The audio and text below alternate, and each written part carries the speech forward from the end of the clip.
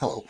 Recently I've been thinking a lot about how we can use Power BI and uh, our pupil database to support schools as they start to look at teacher assessed grades for the summer of 2021. And I think there's a lot of ways in which Power BI can help uh, by putting data and putting analysis and information in front of teachers in a really easy and straightforward manner to help them and help them to support uh, the decisions that they have to make about individual pupils. So in this little video, I'm going to show you some suggestions for how you can use Power BI uh, to analyse your assessment and your exam data from previous years. Here's an example of a Power BI report that I've created that brings together um, historical exam grades. We can see here the results from previous years and I've included results from the previous uh, three years, 2018, 2017, 2016.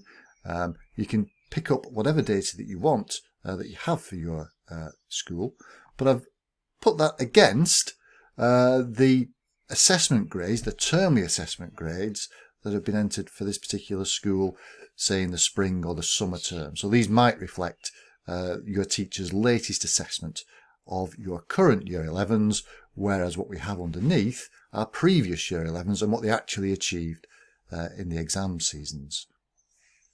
And you can see Power BI allows us to create an easy to read format there. What I've done here is I've just worked out what the average uh, 1 to 9 grade was in each subject. Then you'll see with Power BI we can add extra information. So we've got a hover over button here uh, that gives us, for example, for German, uh, the average uh, point score for German is 5.4. Uh, based on our most recent assessments. Uh, and as, as I hover the mouse over the uh, column for German, it also gives me a grade breakdown. So I can see how many grade 3s, how many grade 4s, 5s, 6s and 7s we've actually awarded for this term in German. And you'll see that also on this hover over, I've got uh, an average grade there uh, and also the percentage of pupils who got a grade 4 or higher. And against uh, the assessments for this term, we also have uh, an overall average grade, which is taking the average of these individual subjects and creating an average for the whole year group, in this case for this term. We have the same idea for the exam grades. This one goes from 2018 down to 2016, but there's no reason why, for example, you can't put 2019 results in here. Um, uh, most secondary schools, your SIMS database will hold this data historically, certainly if you've used Exams Organizer to record them. So we've got an easy way, perhaps then, of uh, looking at, for example, English literature, and we know immediately that English literature, the average grade for our pupils this year, the latest spring result is 5.3. Uh, that's actually 5.29. It's uh, rounded down, but it gives us to two decimal places if we want it. And we've also got this uh, profile for English literature, and you can see there we've got 102 uh, pupils who are currently on a grade 6 and 79.25% of our pupils are on a grade 4 or higher. Well, having identified English literature for this term, I can also hover over English literature for 2018 and I get the same information there, the same style of grade breakdown, the same access to the average exam, the average grade in English literature that particular year, and a percentage of pupils who got a grade 4 or higher. We're not limited to grade 4 or higher, I'm just using grade 4 or higher as an example here. You can have uh, grade 5 or higher, grade 7 or higher, or a combination of all three. Whatever, whatever, uh, whatever statistic you're particularly keen on, Power BI can calculate this relatively straightforwardly. What if we want to drill down into the geography um, uh, results or any of the results you can see on the screen here. And just picking geography as a, as a, as a, as a random example. You can see this term's results uh, for our current year 11s suggest that their average grade is 5.1 and that's how it how it breaks down.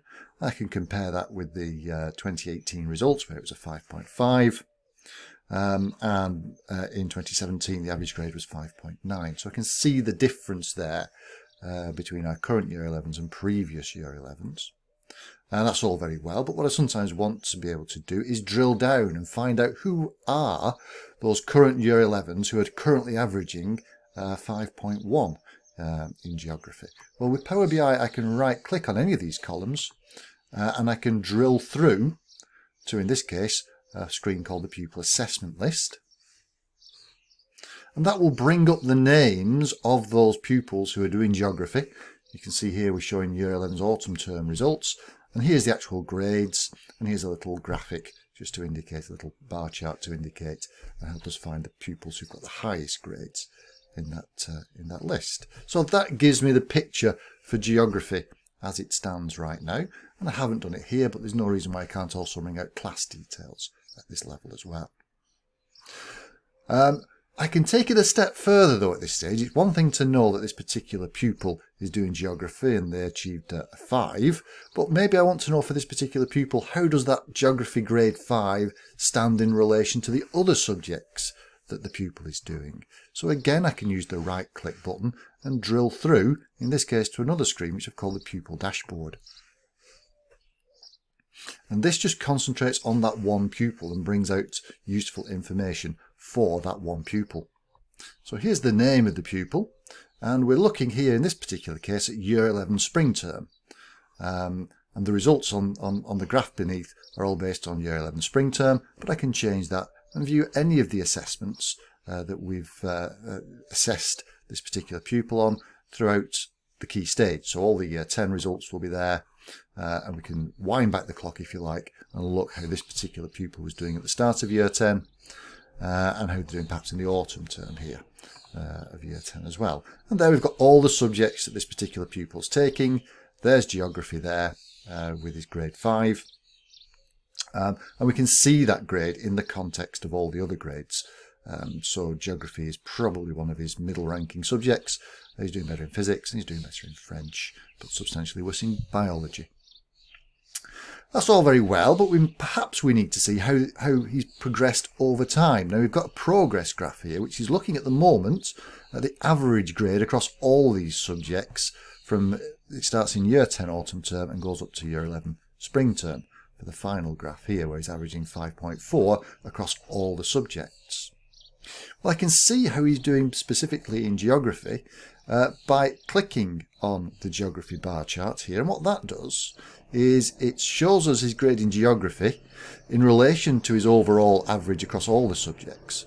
So we can see that in geography, he spent the first year on uh, being assessed at a grade 4 and this year he's being assessed at a grade 5 uh, so he's a grade 5 in the spring term but he was also a grade 5 in the autumn term as well so there's a possibility perhaps that a teacher might be able to grade him up to a grade 6 uh, by the end of the year or maybe not it all depends but at least here as, a, a, as teachers, you've got access to all the information that you might need um, that would otherwise perhaps be hidden away in the uh, in, in, the school uh, pupil database.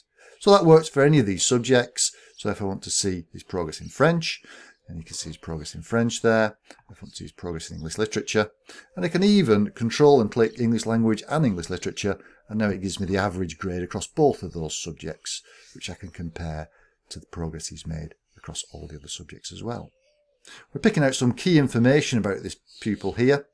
We're also, given whatever we've selected here, counting up how many of the grades are 4 or higher. I've just selected English literature and English language here. If I uh, go back and uh, select all the subjects, we can see that this particular pupil has got a grade 4 or higher in, all, in 7 subjects, all of them apart from biology, and his average grade is a 4.9.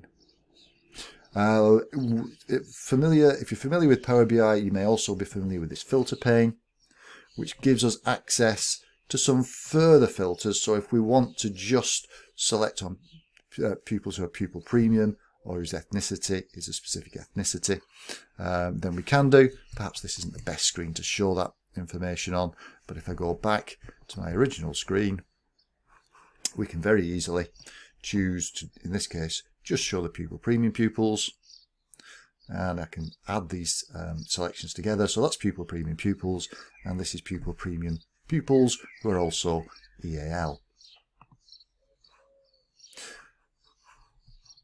So hopefully I've shown you there how we can use Power BI to look both very wide at all the subjects across all the pupils and also very narrow and focus down on one pupil and look at the progress that that pupil has made over a period of time. So hopefully that can all uh, assist you when you're making decisions about teacher assessed grades. Thank you.